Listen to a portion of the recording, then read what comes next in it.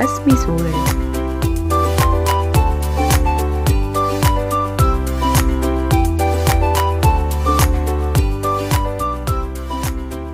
ഒരു വെറൈറ്റി വിഭവമായിട്ടാണ് ഞാൻ വന്നിരിക്കുന്നത്. ഉള്ളിവളയാണ് നമ്മൾ തയ്യാറാക്കുന്നത്. അധികം ആരും കഴിച്ചിട്ടുണ്ടാവില്ല. പക്ഷെ ഭയങ്കര ടേസ്റ്റാണ് പുറത്തൊക്കെ പോയാൽ പുറത്തൊക്കെ പോയിട്ട് കഴിച്ചിട്ടുള്ളവരുണ്ടാവും. അപ്പോൾ അതേ ടേസ്റ്റിൽ നമുക്ക് അതുപോലെ നമുക്ക് വീട്ടിലുണ്ടാക്കിയെടുക്കാം. വളരെ കുറച്ച് ഇൻഗ്രീഡിയൻസേ ആവശ്യമുള്ളൂ. പിന്നെ കുട്ടികൾക്കൊക്കെ സോസിന്റെ ഒക്കെ കൂടെ കഴിക്കാൻ വേണ്ടി നല്ല വളരെ ഇഷ്ടമായിരിക്കും അപ്പോൾ നമുക്കതെങ്ങനെ തയ്യാറാക്കുന്നതെന്ന് നോക്കാം. ഞാനിവിടെ ഒരു നാല് അത്യാവശ്യം വലിയ ഉള്ളിയാണ് എടുത്തിരിക്കുന്നത്. സവാള വലിയ ഉള്ളിയാണ് നാലെണ്ണം എടുത്തിരിക്കുന്നത്.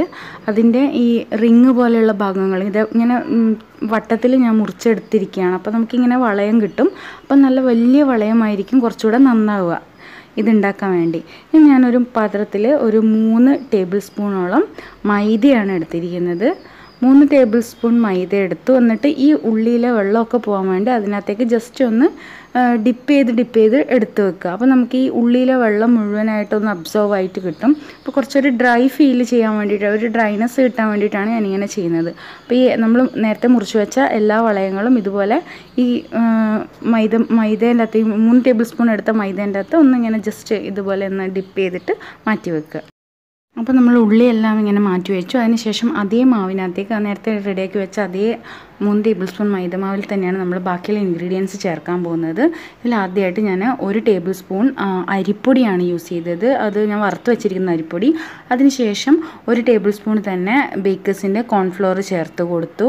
അതിനുശേഷം അര ടേബിൾ സ്പൂൺ നമ്മുടെ ബേക്കിംഗ് സോഡ അല്ലെങ്കിൽ അപ്പക്കാരം. ഞാൻ ഇവിടെ എടുത്തിരിക്കുന്നത് അപ്പക്കാരമാണ് ഞാനിവിടെ അര ടേബിൾ സ്പൂണോളം അപ്പക്കാരം ചേർത്ത് കൊടുത്തു. വേണമെങ്കിൽ ഒരു പിഞ്ച് ഉപ്പ് കൂടെ നിങ്ങൾക്ക് ഇതിന്റെ കൂടെ ആഡ് ചെയ്യാം. നിർബന്ധമില്ല ഉപ്പ് വേണമെന്നുള്ളത് ഒരു പിഞ്ച് ഉപ്പ് ആഡ് ചെയ്യാം.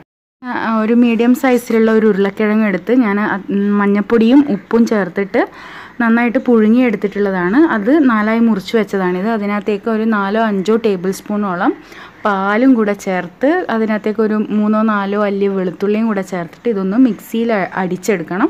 നല്ലൊരു പേസ്റ്റ് പരുവത്തിലാക്കി എടുക്കണം ഈ ഒരു കൂട്ട്. ഒരു നാലോ അഞ്ചോ വെളുത്തുള്ളി മതിയാവും. ഇതിനകത്തേക്ക് ആ ഒരു ഫ്ലേവറിന് വേണ്ടിയിട്ടാണ് നല്ലൊരു ഫ്ലേവർ കിട്ടാൻ വേണ്ടിയിട്ടാണ് നല്ലൊരു സ്മെല്ലും ഉണ്ടാവും. അതിന് വേണ്ടിയിട്ടാണ് ഈ വെളുത്തുള്ളി ചേർക്കുന്നത്. അപ്പോൾ നമ്മളിതെല്ലാം കൂടെ ഒരു മിക്സിയുടെ ജാറിനകത്ത് ഇട്ടിട്ട് നല്ലൊരു പേസ്റ്റ് പരുവത്തിൽ അരച്ചെടുക്കണം. അപ്പോൾ നമ്മൾ നേരത്തെ റെഡിയാക്കി വെച്ച മാവാണ്. അതിനകത്തേക്ക് ഈ നമ്മൾ അരച്ചെടുത്ത ബാറ്റർ ചേർത്തിട്ട് നന്നായിട്ടൊന്ന് മിക്സ് ചെയ്തെടുക്കണം. നല്ല മയത്തിൽ വേണം മിക്സ് നല്ല പേസ്റ്റ് രൂപത്തിലാവണം. നമ്മൾ പെട്ടെന്ന് ഇങ്ങനെ കുഴച്ചെടുത്ത് കഴിഞ്ഞാൽ ചിലപ്പോൾ ഇതെല്ലാം കൂടെ ഉരുണ്ടിട്ടാകെ അബദ്ധമായി പോകും അപ്പോൾ ജസ്റ്റ് ഇതൊന്ന് കുഴച്ചെടുക്കുമ്പോൾ ശ്രദ്ധിക്കണം. ആ അടിച്ച മിശ്രിതം ഇതിനകത്തേക്കാക്കി കുറച്ച് ആവശ്യമാണെങ്കിൽ കുറച്ച് വെള്ളം ചേർത്തിട്ട് ഇതൊന്ന് ലൂസ് കൺസിസ്റ്റൻസി ആക്കിയിട്ട് മാറ്റാവുന്നതാണ്. എന്നിട്ട് ഇതുപോലെ ഒരു ഹാൻഡ് ബ്ലെൻഡറോ അതുപോലെ ഞാനിപ്പോൾ വിസ്ക്കാണ് യൂസ് ചെയ്തത്. ഞങ്ങൾക്ക് കയ്യിൽ വിസ്ക് ഉണ്ടെങ്കിൽ വിസ്ക് യൂസ് ചെയ്തിട്ട് ഈ കട്ടയൊന്നും ഇല്ലാതെ നന്നായിട്ടൊന്ന് ഇത് ഉടച്ചെടുത്തിട്ട് ഈ ഒരു കൂട്ട് പാകപ്പെടുത്തുക. അപ്പോൾ കൂട്ട് നന്നായിട്ട് മയപ്പെട്ടിട്ടുണ്ട്. ഈ ഒരു പരുവത്തിലായിട്ടുണ്ട്. അപ്പോൾ നമുക്കൊരു അര ടീസ്പൂണോളം മുളക് പൊടി. ഇത് കാശ്മീരി ചില്ലി പൗഡറാണ്. കാശ്മീരി ചില്ലിയും സാദാ ചില്ലി പൗഡറും കൂടെ മിക്സ് ചെയ്ത് പൊടിച്ചതാണ്. അപ്പോൾ അതും കൂടെ ചേർത്തിട്ട് നന്നായിട്ട് ഇളക്കിയെടുത്തു. ഇനി ഇതുപോലെ ഒരു ഫോർക്ക് ഉപയോഗിച്ചിട്ട് നിങ്ങൾക്ക് ഇതിനകത്തേക്ക് ഇങ്ങനെ ഡിപ്പ് ചെയ്യണമെങ്കിൽ വളരെ എളുപ്പത്തിൽ നിങ്ങൾക്ക് ചെയ്തെടുക്കാൻ പറ്റും.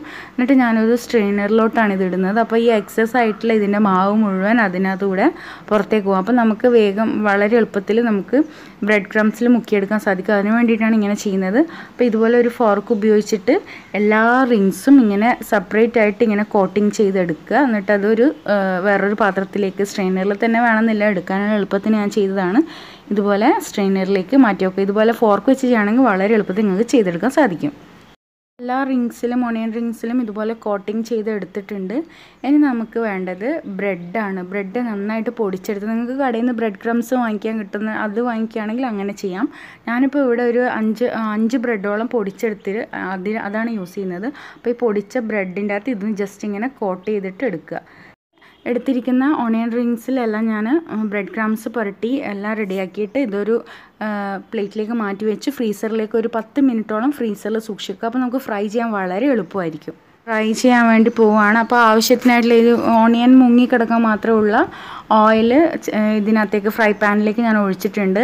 അതിനുശേഷം നമുക്ക് ഇതിനകത്തേക്ക് നല്ല ഡീപ്പ് ഫ്രൈ ചെയ്യണം ഈ സാധനം. എന്നാലേ ആ ഉള്ളിലുള്ള ഓണിയൻ വെന്ത് കിട്ടുള്ളൂ നമുക്ക്.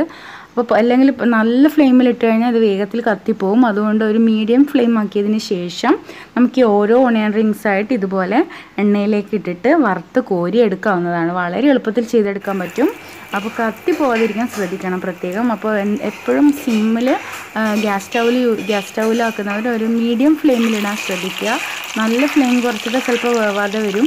അപ്പോൾ ഒരു മീഡിയം ഫ്ലെയിമിലിട്ടിട്ട് നന്നായിട്ട് ഇളക്കി കൊടുത്തിട്ട് ആ, മൂപ്പാവുന്നതിനനുസരിച്ചിട്ട് അതിന് വറുത്ത് കോരിയെടുക്കാൻ വേണ്ടി ശ്രദ്ധിക്കുക. വളരെ എളുപ്പത്തിൽ തയ്യാറാക്കാൻ പറ്റിയ ഒരു സ്നാക്സാണിത് കുട്ടികൾക്കൊക്കെ നല്ല ഇഷ്ടമാവും ടൊമാറ്റോ കെച്ചപ്പിന്റെ കൂടെ കഴിക്കാൻ നമുക്കിത് നല്ലൊരു സൈഡ് ഡിഷായിട്ടും ഉപയോഗിക്കാം. വളരെ ഈസി ആയിട്ട് തയ്യാറാക്കാൻ പറ്റിയ ഈ ഒരു വിഭവം നിങ്ങൾ എല്ലാവരും ട്രൈ ചെയ്ത് നോക്കണം. നല്ല ടേസ്റ്റാണ് കടയിൽ നിന്ന് കിട്ടുന്ന അതേ ടേസ്റ്റിൽ തന്നെ നമുക്ക് വീട്ടിൽ എളുപ്പം തയ്യാറാക്കി എടുക്കാൻ സാധിക്കും. അപ്പോൾ എല്ലാവരും ഒന്ന് ട്രൈ ചെയ്ത് നോക്കുക. നിങ്ങൾക്ക് ഈ വീഡിയോ ഇഷ്ടമെങ്കിൽ ലൈക്ക് ചെയ്യാനും കമന്റ് ചെയ്യാനും എന്റെ ചാനൽ സബ്സ്ക്രൈബ് ചെയ്യാത്തവരാണെങ്കിൽ സബ്സ്ക്രൈബ് ചെയ്യാനും മറക്കരുത്. ഇതുവരെ സബ്സ്ക്രൈബ് ചെയ്ത എല്ലാ സബ്സ്ക്രൈബേഴ്സിനും ഒത്തിരി താങ്ക്സ് തുടർന്നും ഈ സപ്പോർട്ട് ഉണ്ടാവുമെന്ന് പ്രതീക്ഷിക്കുന്നു. Thank so much